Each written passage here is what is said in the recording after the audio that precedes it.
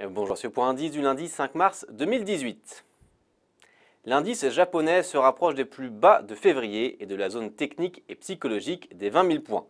Il convient toutefois de se méfier d'une éventuelle réaction de la Banque du Japon sur le marché d'échange si le yen se renforce trop.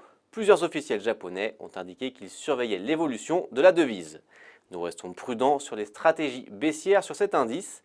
Un retour au contact des moyennes mobiles exponentielles 50 et 100 jours pourrait constituer un signal haussier intéressant avec retour sur les plus hauts annuels. Retrouvez-nous dès 11h pour Market Live et dès demain pour autres analyses.